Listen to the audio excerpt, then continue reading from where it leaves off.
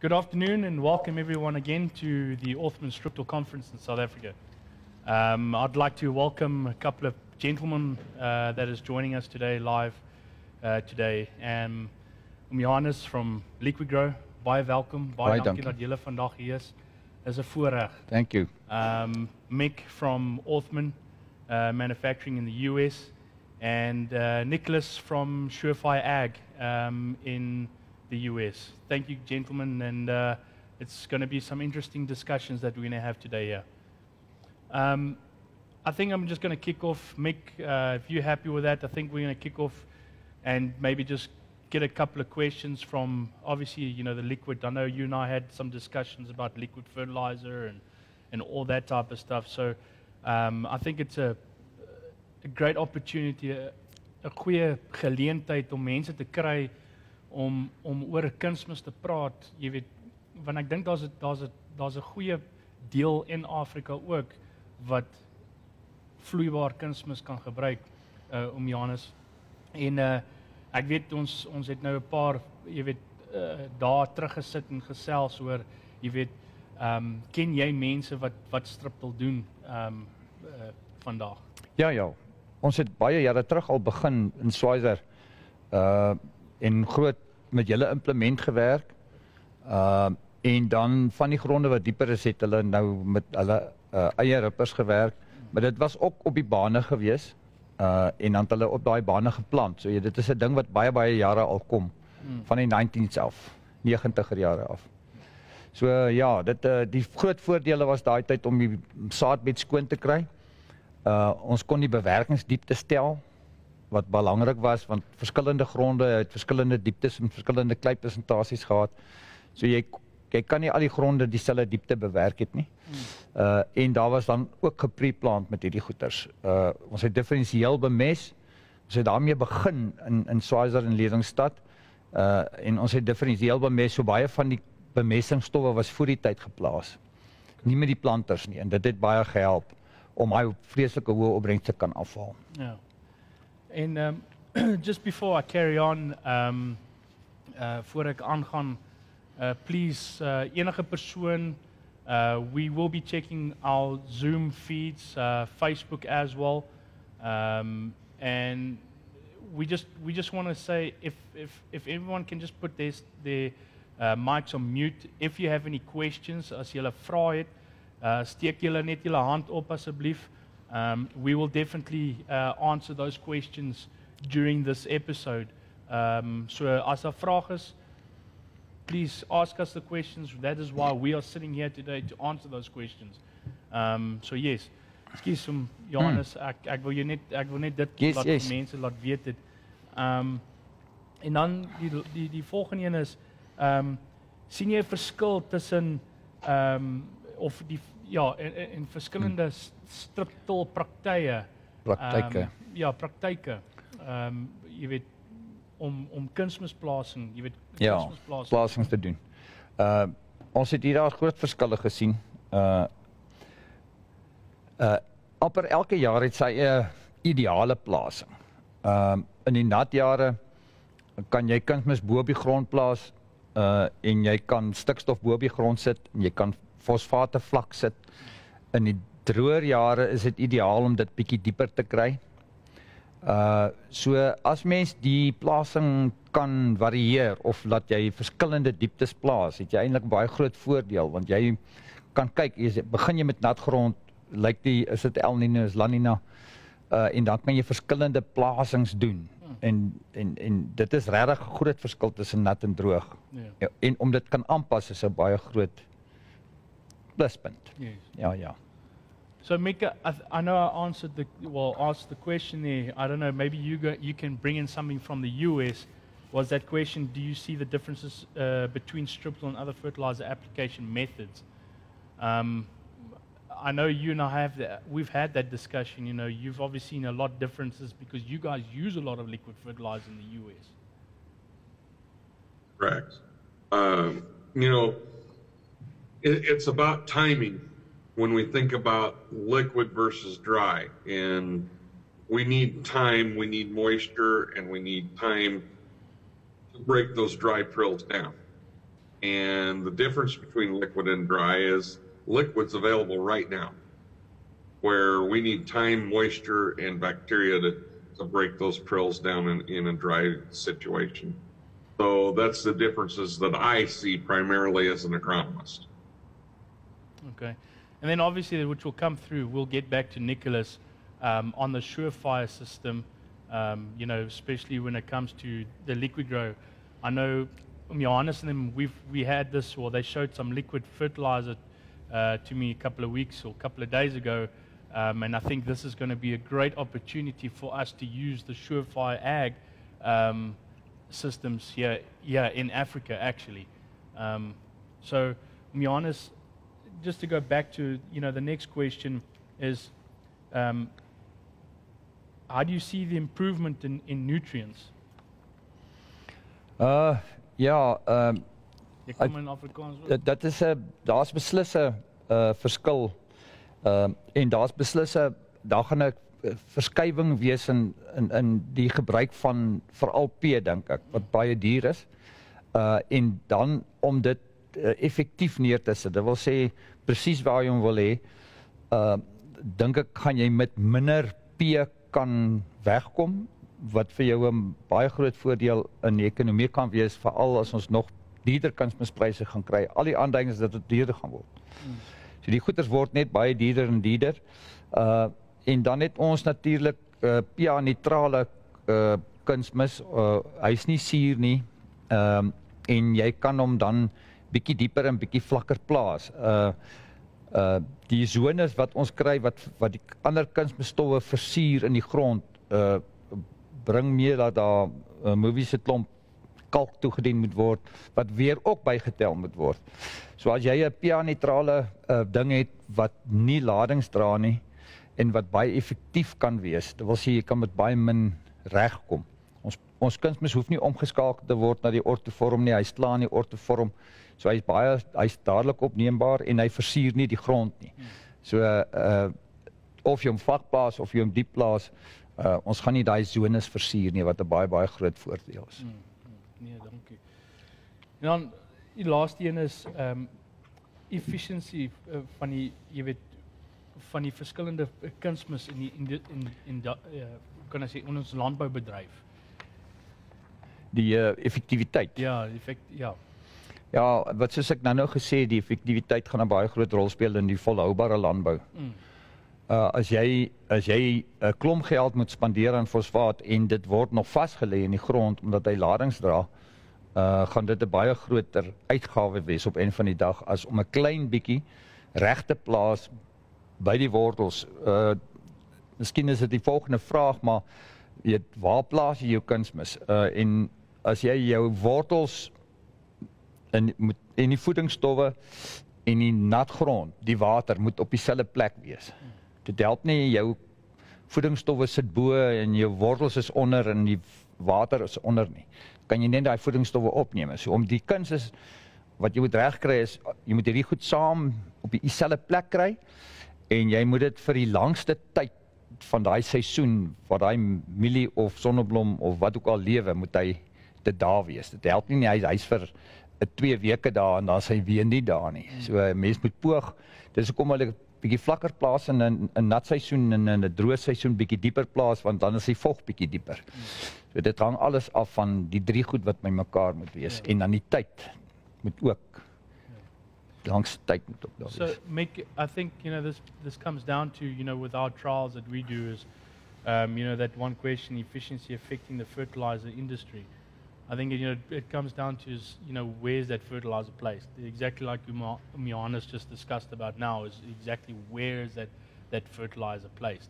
Uh, we've seen that. You know, we we spoke about yes. that yesterday in in the in those root in those root balls. Um, you know, with the hairs and all that type of stuff. So, um, I don't know. Do you do you have anything that you want to share from your end? You know, we we see that placement. Uh, Orthman has been committed to doing strip till research and, and placement trials for a lot of years and we we've seen that that placement is very important and, and as I said yesterday and I can't say it enough roots don't have sensors on them that say, hey, there's nutrients over there, I'm going to go get them. Uh, they grow by gravity and temperature change, and placing that nutrient right below that, that planted seed, you can't ask for a better spot to do that. Ehm um, Johannes ehm um, hoe hoe belangrik is dit ehm um, om om my kunsmis in in die regte plek te sit? Ag is absoluut uh fataal om dit op die verkeerde plek te sit. Uh, uh ons het nou gesien waar as jy byvoorbeeld ons het 'n profiel gehad en nou geklim die afgelope paar dae uh en gesien dat die wortels absoluut nie deur die verdigting gekom het nie. So die kombinasie van ehm uh, wortelgroei wat jy kan stimuleer in die, in in darm in die in die grondsone in dat hy nie net 6 duim onder die grond lê nie. Uh en dan die plasing van die kunsmis soos ek nou gesê het by die vog en by die wortelgroei ehm uh, is van kardinale belang. Ja, absoluut baie belangrik. Ehm uh, en ehm uh, uh die die sisteme wat nou uit Amerika kom is interessant met die white drops wat ons ook op 'n laat stadium kan stikstof gee. Ook naby die plant. Baie baie goeie resultate hierdie jaar ook gelewer. So die plasing is baie belangrik. Hmm. En dit kos geld om dit verkeerd te plaas, jy weet. Yes, and and that's that's exactly what we spoke about yesterday. Mianis has said you now is it, it costs money if you don't place it in the right place. Exactly. So um Mianis ek weet ek skiep nou 'n paar vrae nou hmm, hierso. Goed reg. Um dink jy die so die die die die grondstruktuur is baie belangrik in en kropproduksie. Ja.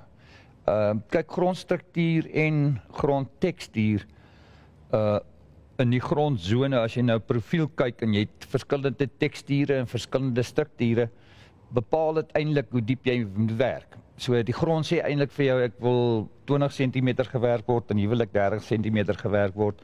So dit speel 'n ontsettende groot rol in die bewerkingsdiepte. Hmm. Speel 'n baie groot rol in wortelontwikkeling en dan speel dit 'n baie groot rol in die natuurlike vrugbaarheid van 'n grond. So jou hoër kleigronde gaan 'n hoër natuurlike vrugbaarheid hê en jy kan met minder bemesting klaarkom in jou sandgronde te laer laer 'n uh, uh, uh, kleipersentasie en natuurlik geen struktuur nie. Uh en hulle moet jy natuurlik baie hoër bemest. So dit speel 'n baie groot rol in bewerkingskoste, diepte van bewerking en bemesting. Baie groot rol, ja.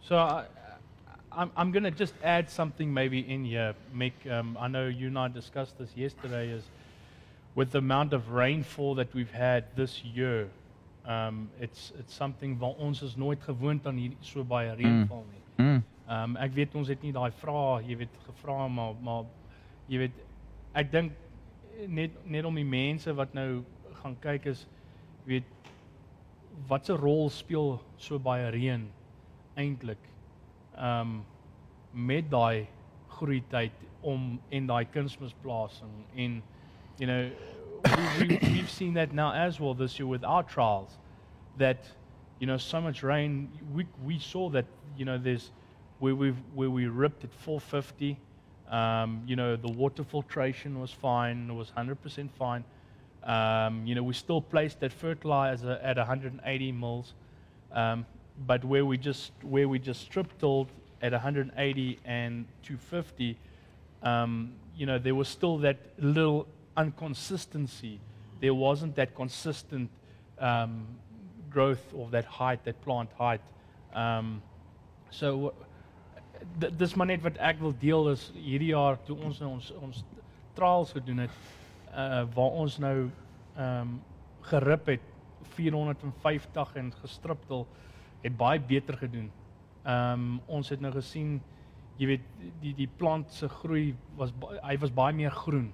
Ehm um, jy weet daar was 'n jy kan duidelik sien die verskil tussen waar ons net gestriptel en waar ons gerip en gestriptel het. Ehm um, jy weet waar die ek dink persoonlik maar net die waterfiltrasie was net baie beter. Jy weet ek, ek praat nou I'm talking about mm. just this year. Hierdie jaar is 'n heeltemal ander jaar waar we we've never experienced well I think it ek dink dit het gebeur? Ek weet nie. Ek is nog te jonk om te Ja. weet daarvan.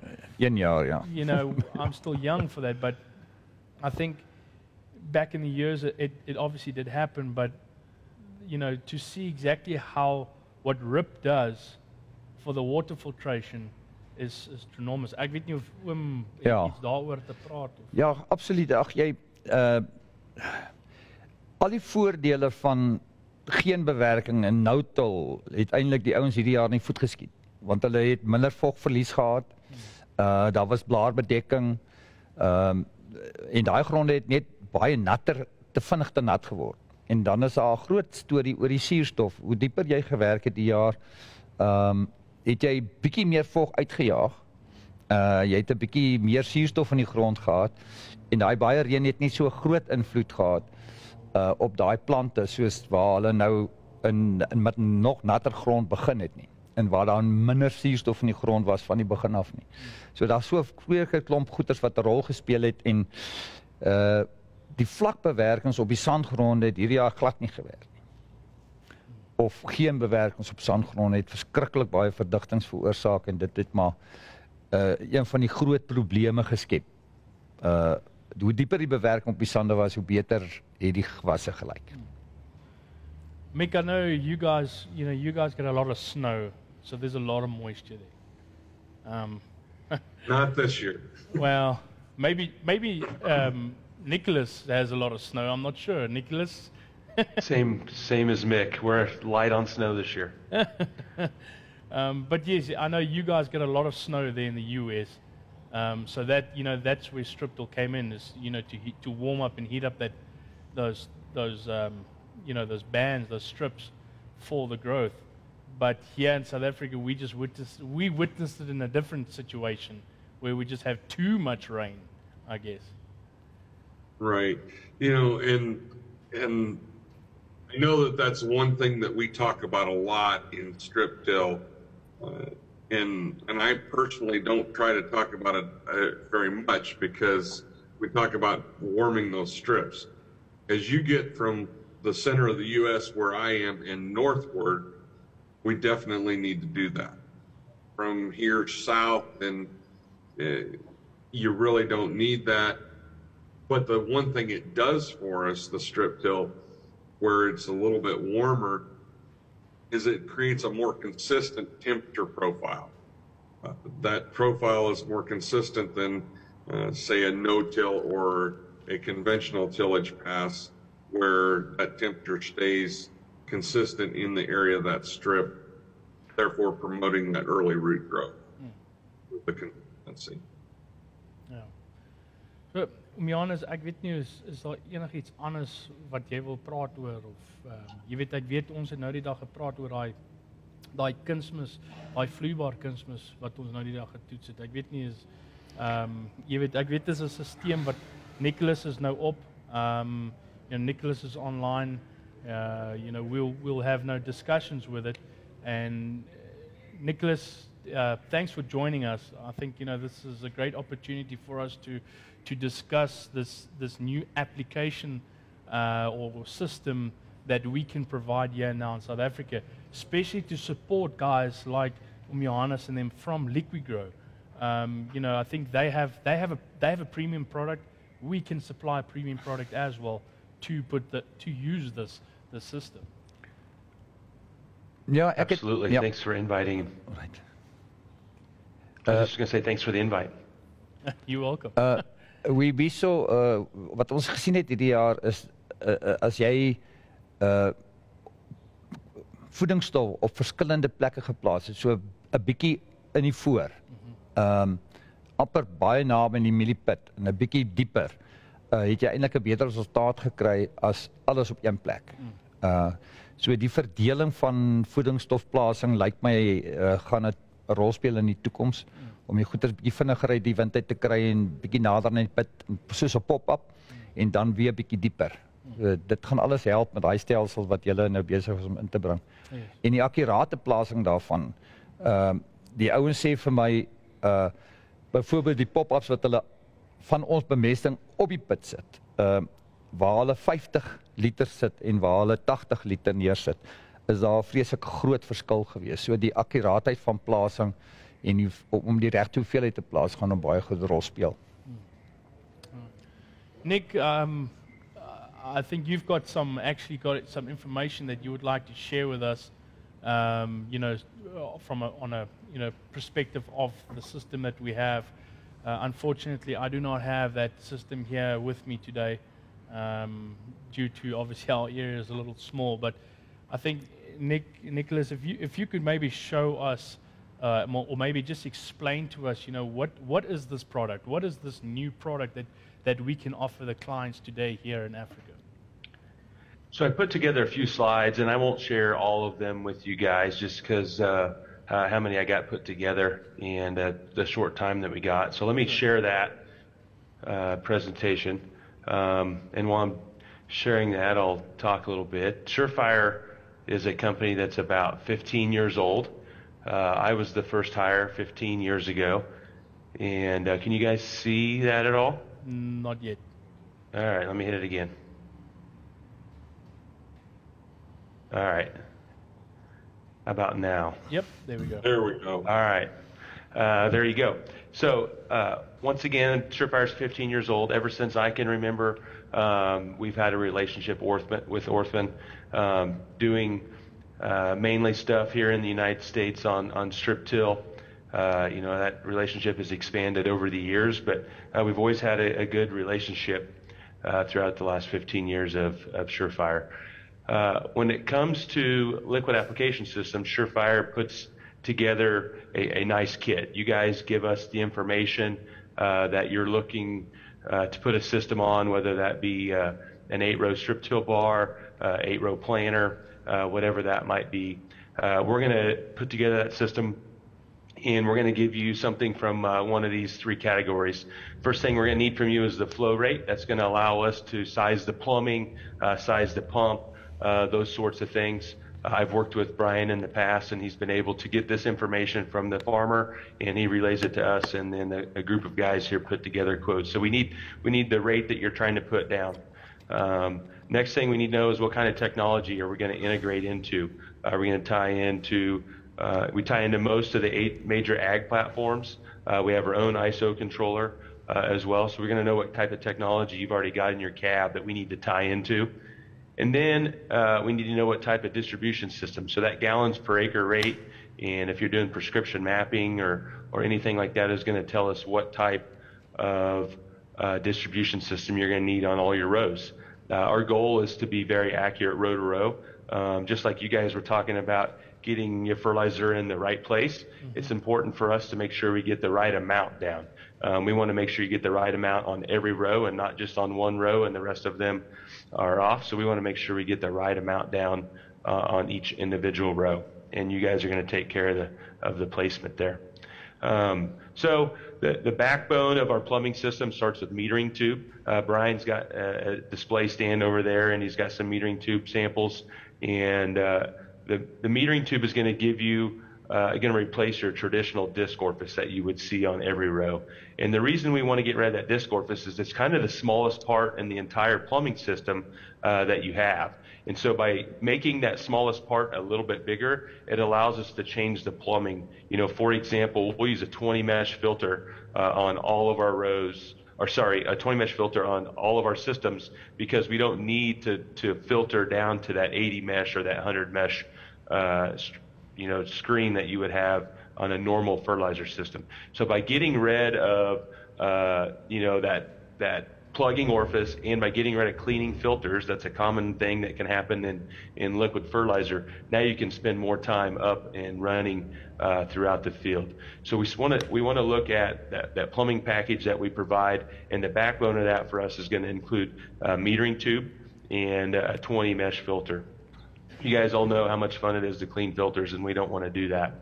Uh, so that metering tube, when we look at the row-to-row accuracy, uh, you can see on this page where we look at uh, thousands of data points uh, through our tests, and that most of the time our our uh, uh, coefficient of variation is around 3.9 percent from row to row. So that's pretty darn accurate when you start talking about everything that's going on in a fertilizer system. and so extremely accurate row to row.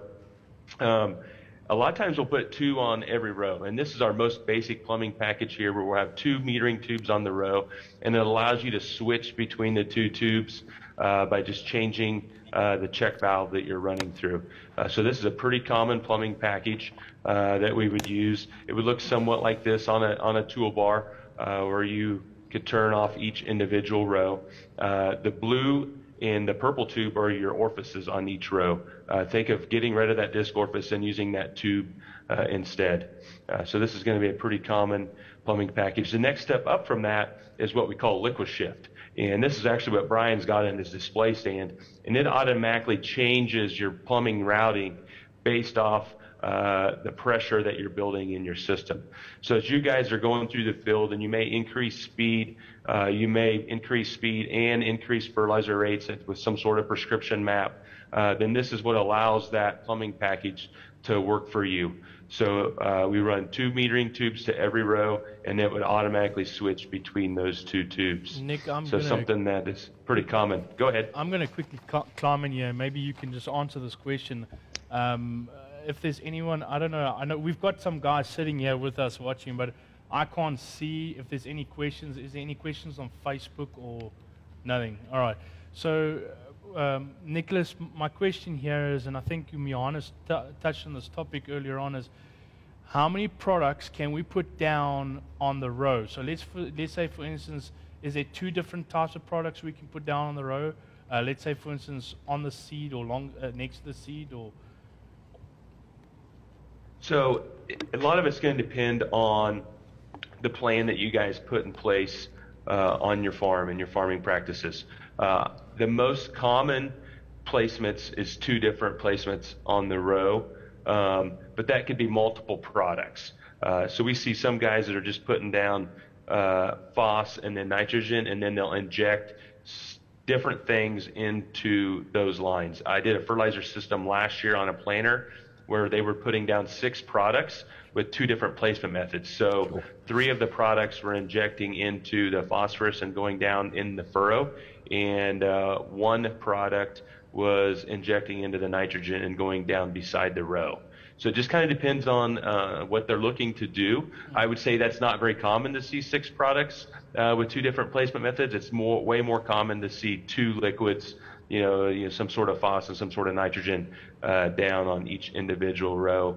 Um, is, Yeah. is by far more common than, Yeah. than the six product. But we do do those uh, types of systems. They're very customized and uh, require a lot of uh, detail to put a package to, together like that. M- um, Johannes, is that is that something when you you would look you were Yeah, yeah, thinking about? definitely, yeah. Right. yeah. Yeah. Uh, here, here in one of my slides, I'll show you guys our injection pump. So you just have a small pump that, that you know can get down to one ounce a minute that would inject something into the stream of uh, your phosphorus or, or your nitrogen, depending on what you're what you're trying to do. Good question.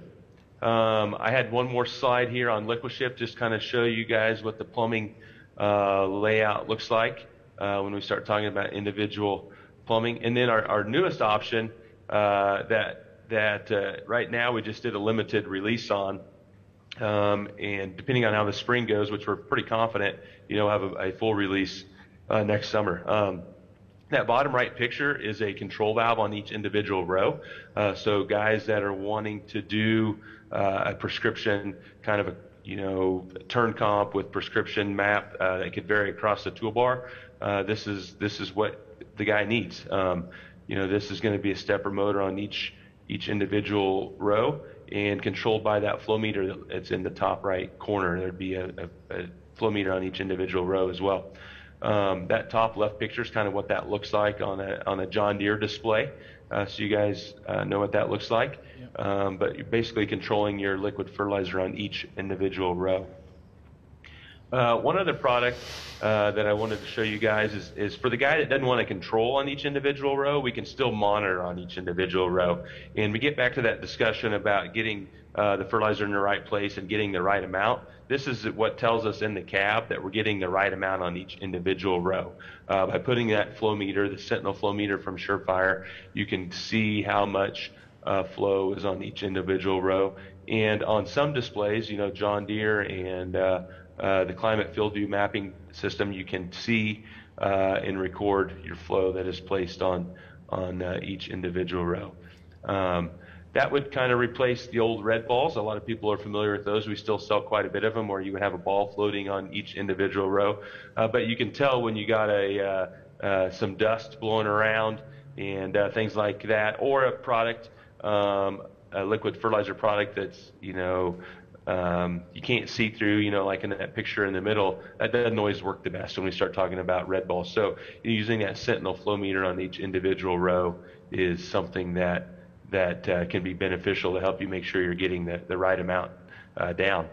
Um, this is the, the same ISO rate controller that I was talking about earlier. It does individual row control. It does basic rate control uh, as well um, across your toolbar. That's what we've set up uh, Brian with in the past, and things have worked uh, well there.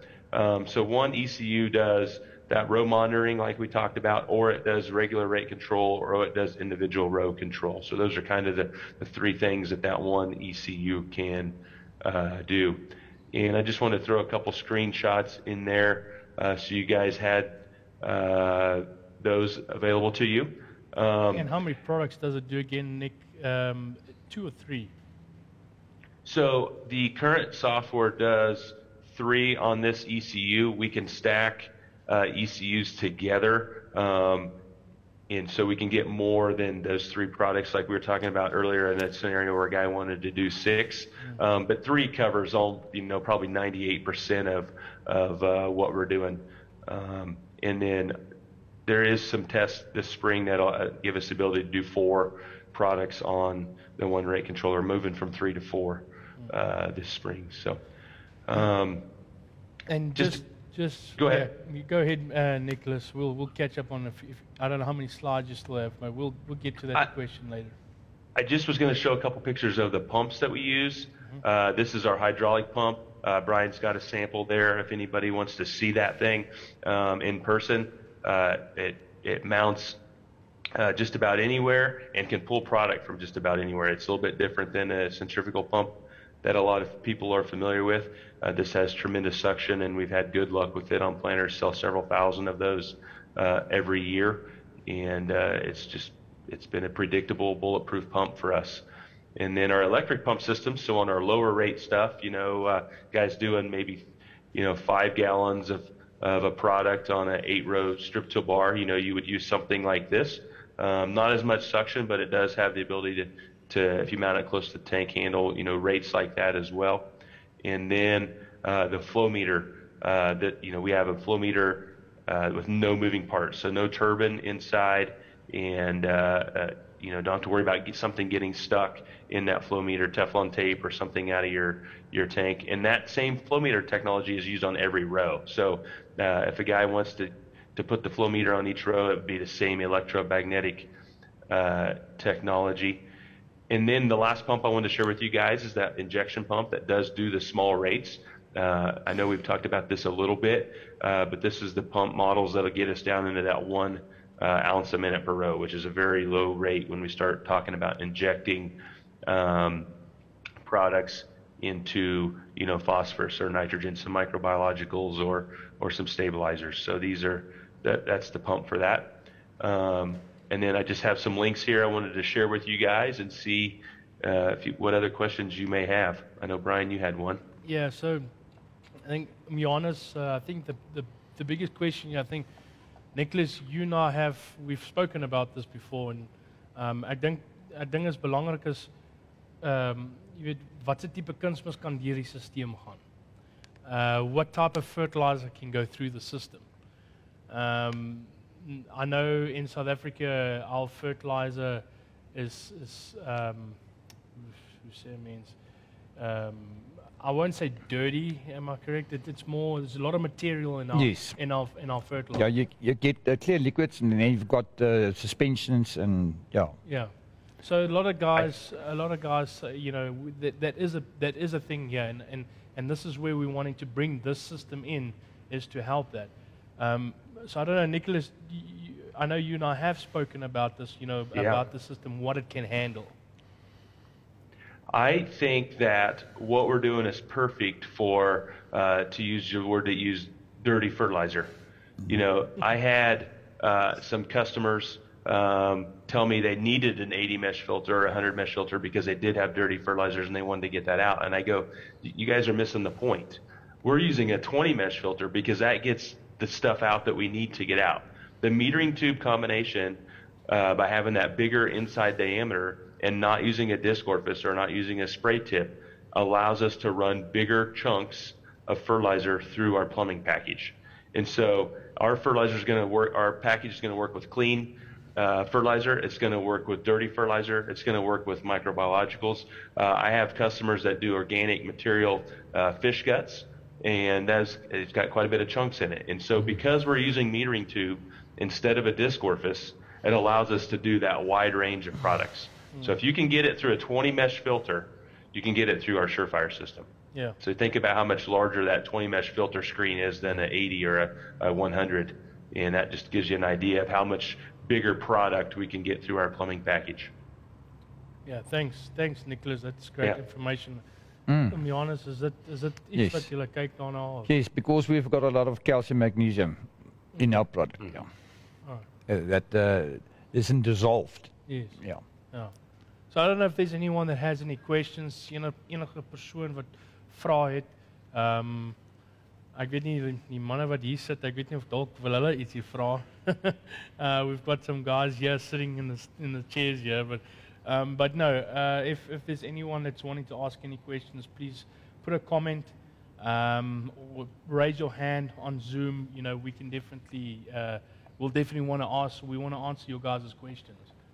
Mick, do you I'll have anything? my- I was just going to say, I'll put my email in the uh, chat box so if people wanted to email me questions, and then I can copy you in on my replies, Brian, if that works for you. Yeah, you can do that. Okay. The, the one side note that I have on the, on the Sentinel system, because we utilize the Sentinel system on our U.S. research farm, and uh, you know it's amazing how accurate that system is. Uh, so our part of our our research farm, we also do some local work with FFA chapters, and in the past. Uh, we used to have to weigh all the fertilizer going onto the FFA plots so that our provider could donate that to the FFA organization. And now that we've switched to this Sentinel system, we're so close in, in our accuracy. They, the supplier said, you know what? Forget about weighing it. It takes time to weigh that. You guys just go ahead and, and tell us how many gallons you used on that FFA plot, and we'll use that for our for our numbers. So that tells you how extremely accurate the Sentinel system can be. All right, so we actually have a we have a question here, um, Nicholas. If I'm correctly speaking, this is actually coming from. Um, I actually I went out of it now. Uh, it was, it was to do with the SureFire sys- liquid system. Doesn't need to buy a new planter to fit this kit to it. No, you don't. It's an add-on. No. We can add it to the planter. Correct. Uh, Mick is right. They've been one of our testers on uh, when we started doing uh, individual row control, and uh, since the beginning, uh, those guys have been testing that product on their farm, and they have had good luck uh, with that product as well. It shows in their trials uh, how well it works, or doesn't work on some trials. Well, when I make things screw up on purpose, Correct. it, it does exactly what I ask it to. That's, that's okay. At least it's there by Mick. Mick, I know Mick han- handles it pretty well. So, um, sorry, I'm just yeah. We just have one. We only have one comment here. Um, so, om jy honest, is daar enigiets anders waar jy het enigiets in gedagte? Ja, is 100%. Uh ons sal ook maar gaan lees wat die ouens dalk sê en Mm. maak en ja. Ja. No, thanks for the uh for the time. Uh enjoyed it and it was a privilege to be here. Yes. No, perfect. Uh, Nicholas, uh, thanks for spending the time and, and you know sharing us you know this information with us, especially on the SureFire. I think there's a great opportunity for it here in Africa. Um, and then you know on Mick, Mick and myself, you know, uh, we do appreciate you guys joining us, and you know, uh, Mick and I will be back again tomorrow, and uh, we'll be discussing. Mick, I don't know, do you have anything that you want to share before we go?